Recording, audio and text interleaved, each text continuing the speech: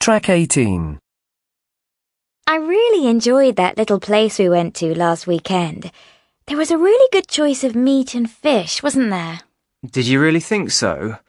I wish I could say the same, but actually, I thought it was pretty limited. There were far too many fish dishes on the menu, and I can't stand seafood. There just wasn't enough meat. Oh, come on, Joe. We really enjoyed the steak we had. And you said that the beef the people on the other table were eating looked delicious too. Well, I won't be going back. It was much too expensive. Well, I thought it was pretty reasonable. In fact, I couldn't believe it when the bill arrived. Forty pounds, including a tip. That's only twenty pounds per person. You can't get steak for less than fifteen pounds anywhere in town.